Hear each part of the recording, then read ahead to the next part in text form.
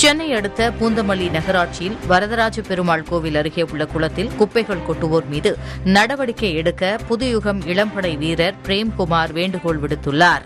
சென்னை பூவிருந்தபள்ளி நகராட்சியில் பிரசித்தி பெற்ற வரதராஜ பெருமாள் திருக்கோயில் அருகே அமைந்துள்ள பாழடைந்த குளம் சமீபத்தில் தூர்வாரப்பட்டு மக்கள் பயன்பாட்டிற்காக கொண்டு வரப்பட்டது. இருப்பினும் அந்த வழியே செல்லக்கூடிய பொதுமக்கள் கவர்களில் குப்பைகளை கொண்டு வந்து குளத்தின் அருகே வீசிவிட்டு செல்வதால் குளம் மேலும் மாசடைந்து கொண்டுதான் வருகிறது. தூய்மை பணியாளர்கள் மூலம் தினந்தோறும் குப்பைகள் அகற்றப்பட்டாலும் தினந்தோறும் பொதுமக்கள் குப்பைகளை கொட்டிவிட்டு தான் செல்கின்றனர்.